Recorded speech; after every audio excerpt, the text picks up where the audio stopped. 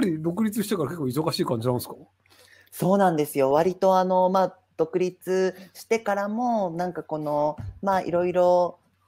まあ、いろんな一面、それこそ経営者としての一面も一応なんか、あの、取材とかで、なんかそういうの聞きたいみたいなのも多くなったりとかして、仕事の幅は広がったかなと感じています。え、じゃあなんかスタッフを怒鳴りつけたりとかするんですか？なんか怒って言っても、こんなことで怒ってとか、感情だけが伝わるから、すごくもったいないコミュニケーションじゃないですか。だからやっぱりあの、可愛く優しく、いつもよりもぶりっこして、一番イライラした時は伝えるようにしてます。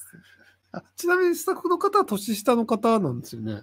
いや、全員年上ですね。マジですか？それ、それはそれはお互い結構気を使う感じになりますね。あ、そうなんですよ。いい意味で気を使ってて、距離感があってっていう感じで、すごく居心地いいメンバーとさせていただいてます。えー、でも昔だとその仕事って選べなかったんですけど、今だともう好きに選べるわけじゃないですか。そうです、ね、そうするとなんか、あの割とそのなんか昔はこれ絶対やんなかったよねみたいなのをあえて今をやったりみたいなのもあるんですか？なんか、あの、うん、そうですね。逆に、前まではめちゃくちゃやった。僕、あの、それこそ部屋番してた時代っていうのは、何を目的に仕事してたかって言ったら、うん、まずは認知。というか、あの、リューチェルっていう人を知っていただくっていう期間がやっぱり最初テレビ出た時はあったので、そういう時はいろんな仕事選ばずに何でもある仕事をやろうというテンションだったんですけど、今はやっぱり、あの、まあ、ブランディングというか、自分でいろいろ、なんかこういう仕事は僕に合わないかもしれないなとか、あの、ファンの方の声とか、あとマネージャーさんたちと話し合ったりしながら、あの、仕事選ばせてもらう、あの時はありますね。僕、それこそ、やっぱり、